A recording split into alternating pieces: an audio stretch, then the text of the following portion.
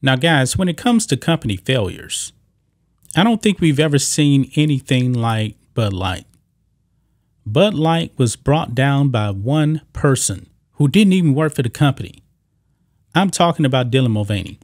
And there's been uh, other companies, you know, go under for different reasons, you know, like Kmart, you know, but that was more like economic reasons and, you know, times changing, that kind of thing. But this whole Dylan Mulvaney thing, this is on a whole nother level, guys. In a two month span, Bud Light dropped from being the number one seller of beer in the United States, lost that spot, gone instantly. We've never seen anything like this, folks. We haven't. A partnership with Dylan Mulvaney was the death knell for the company. I don't think this company's ever gonna come back.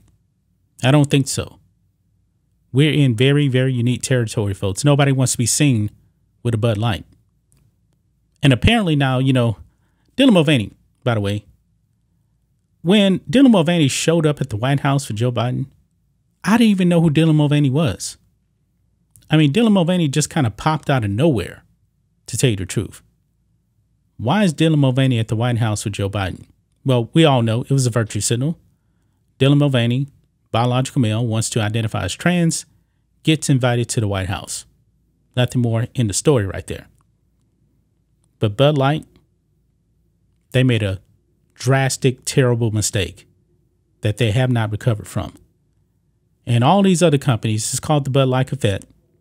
All these other companies, after Bud Light, they got woke, they're getting crushed. Target, Kohl's, and there's some other ones too I can't think of off the top of my head, but those are the big ones right there.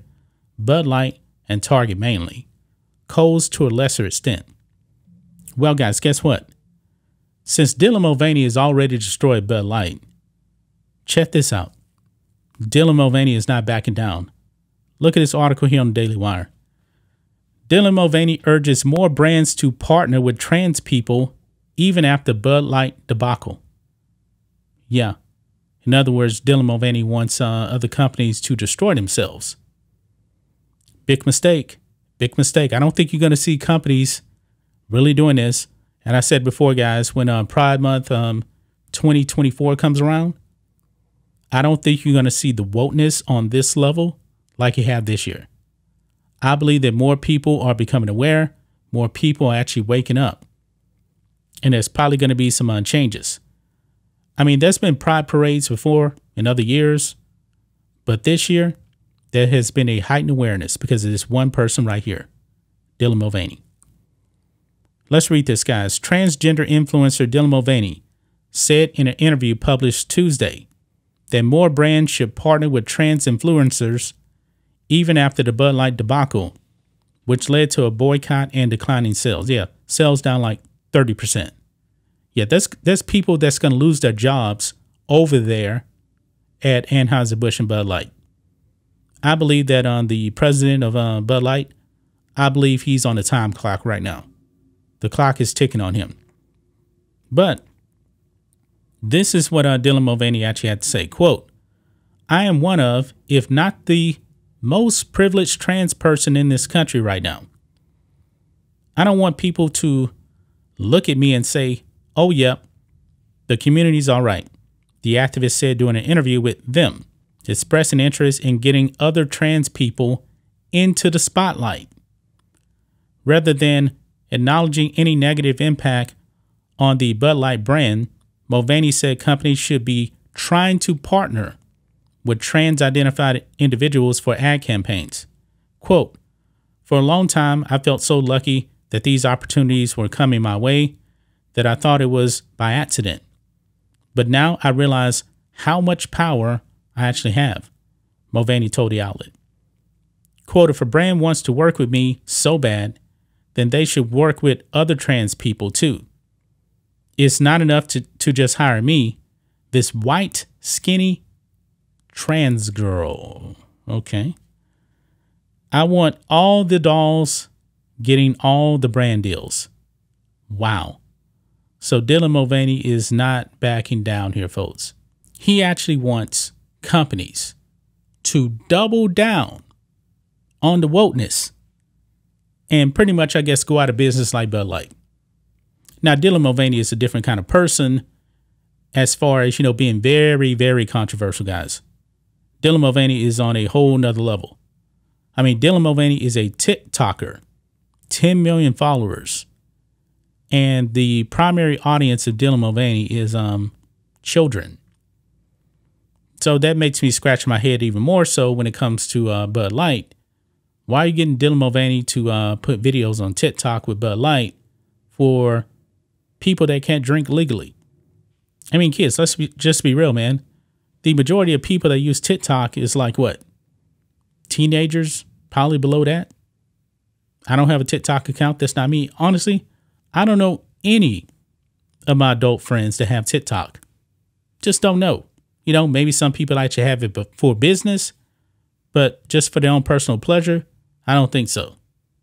I don't think so at all. I mean, is Dylan Mulvaney blind? I mean, does Dylan Mulvaney not understand what's actually going on with Bud Light? That company is on the edge of collapsing because of a partnership with you. And now you want these other companies to actually go out there and uh, double down? Well, why don't we do this? Since Target wants to be woke, why don't they actually get uh, Dylan Mulvaney to be a spokesperson for Target? You know, since they have they love their pride section right there. And by the way, the LGBT community is not happy with Target right now because Target actually um downsized their um the alphabet stuff, the tuck friendly stuff. I don't know if that was actually some of the stuff they removed. I don't know. But like I said before in my previous video, guys, um, if all of that stuff that uh, Target was um selling, if it truly was going to sell, they wouldn't have pulled it. Like I said, what kind of market is really, really out there for tuck friendly stuff? How many of those um swimsuits would they have actually sold in a year? Well, in a month. Let's go with a month. Probably one. Probably. I mean, who's actually out there buying um pride gear for kids? Target. Go and go and sign on Dylan Mulvaney. Go and do it. Some other people too. I mean, it, it's amazing, guys, how Dylan Mulvaney had all of these opportunities out there. I mean, on the Drew Barrymore show, and Drew Barrymore embarrassed herself getting on her knees and like worshiping at the feet of Dylan Mulvaney. It was disgusting. I don't think I've ever seen something that cringe in my lifetime. And make no mistake about it, guys, it was very, very cringe. Dylan Mulvaney wants all these other companies to get down, get super woke, and destroy themselves. The Bud Light effect is real. So if there's a company out there that actually wants to go and do this, go ahead. Go right ahead. You're just going to have to learn the hard way, guys. You're going to have to learn the hard way. We're only what? What, what is today? Today is uh, June the 8th right now. June 8th. I'm wondering what the rest of Pride Month is actually going to be like. And as far as you know, Target goes, by the way, I don't think they've actually brought back all, all of that stuff that they had. I don't think they've actually moved that stuff back to the front of the store, even though they actually had like 200 um, LGBT groups out there giving demands. I don't think they did that. Yeah, Target thought that Virtue Signal wasn't going to hurt them that much. Now it's really hurt them. That validation is down billions of dollars. Billions. It's the same with Anheuser-Busch. I mean, Bud Light on a dollar value, they've lost like 25% in a dollar value from last year. And that is the effect of actually partnering with Dylan Mulvaney. I mean, companies, before they do stuff like this, they actually better step back and say, hold on a second. Hold on a second. The Bud Light effect is real if we actually go out there and do this, we're probably going to lose money. It's not a good business move at all. But I believe there's other companies that will probably do it. There probably are. There's probably some other companies, probably some well well known companies. Nike. Remember Dylan Mulvaney actually um did a Nike ad as well. Maybe Nike is actually going to go out there and um do it, do some other stuff. Sports Illustrated, same thing. But who's actually out there really buying Sports Illustrated magazines? I mean, Sports Illustrated was geared towards men in sports. it was supposed to have beautiful women on the cover inside the magazine. Now they actually got a biological male. That's probably a hard turnoff for many, many men out there. Let's just be real. But that's just my thoughts on this. What do you guys think of this? Black and White Network fans, let us know what you think about all this in the comments. Make sure to subscribe to the channel, and we'll catch you next time.